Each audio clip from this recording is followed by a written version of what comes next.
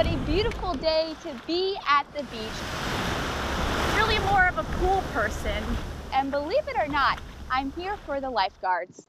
Not just any lifeguard though, I'm here to see Roy Lester, a lifeguard here on Long Island since 1968. Because I like it. You know, it's almost forced relaxation, forced meditation. You're sitting on the stand, you're watching the ocean, you're watching the people. You, nobody's calling you, you don't get, you're not getting texts and stuff like that. You're just there for years, you can find this lifeguard at Jones Beach State Park, but not anymore. The state banned Lester's more modest jammer swimsuit, and now this lifeguard is fighting back. What's a jammer?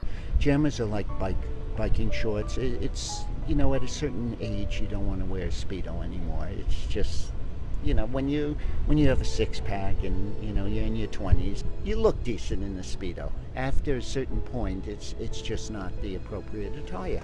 Case closed. The controversy began in 2007. That's when Lester was turned away from his rehire test. Turns out the state banned the jammer swimsuit, instead requiring all lifeguards to wear Speedos, briefs, or boxers. They say it makes it easier for lifeguards to swim the speed test in a jammer. But Lester doesn't agree.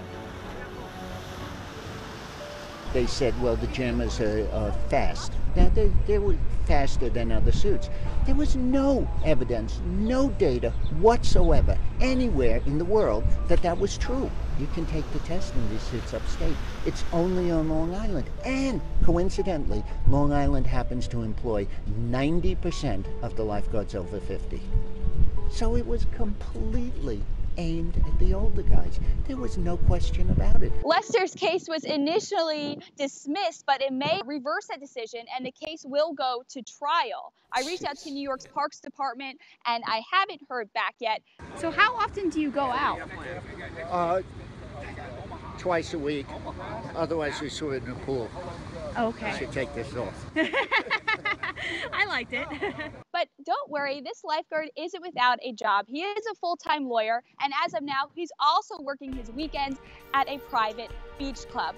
But I asked him, you know, then why are you fighting this if you already are a lifeguard? You're still doing your passion. These guys were special, and that beach was special. I had spent over half my life, more than half my life on that beach. I wanted that job.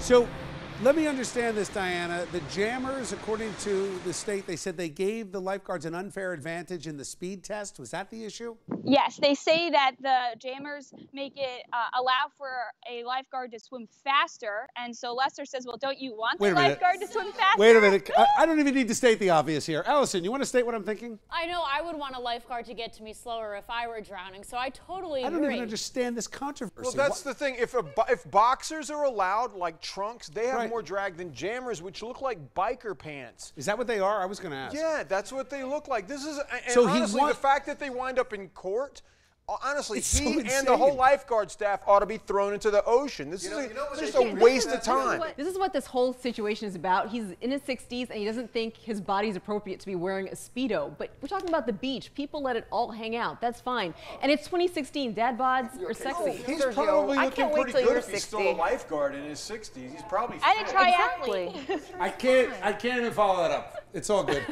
Thanks, Diana. oh, boy. People are insane.